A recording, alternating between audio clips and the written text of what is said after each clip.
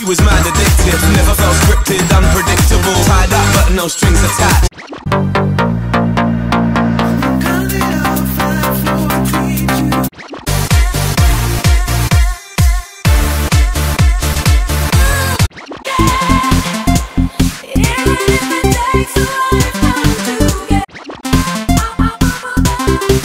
Bye.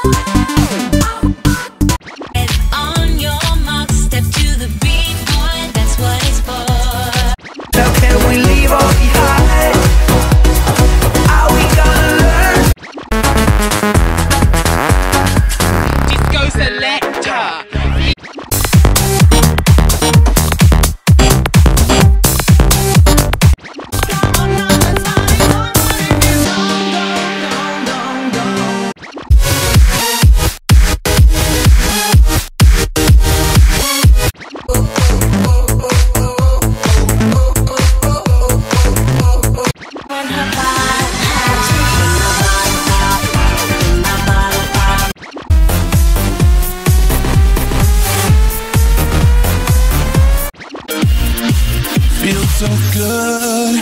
Let the music take you.